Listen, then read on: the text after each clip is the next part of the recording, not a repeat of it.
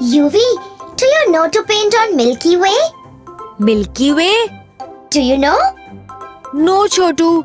Do you know? Yes, I know. You want to see? Yes, please show me. As usual, I need few things.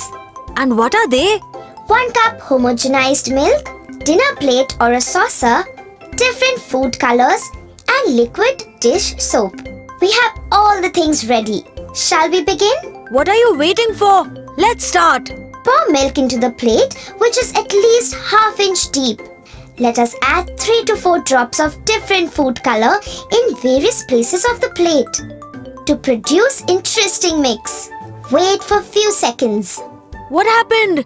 Wait, we will now add 1 teaspoon of dish soap in the center of the plate. Now you wait and watch what happens. Oh, this is amazing. It's looking so beautiful. Milk contains fat. When food color is added, which is mostly water, the color sits in milk forming small pools. They do not mix. When dish soap is added, the soap spreads.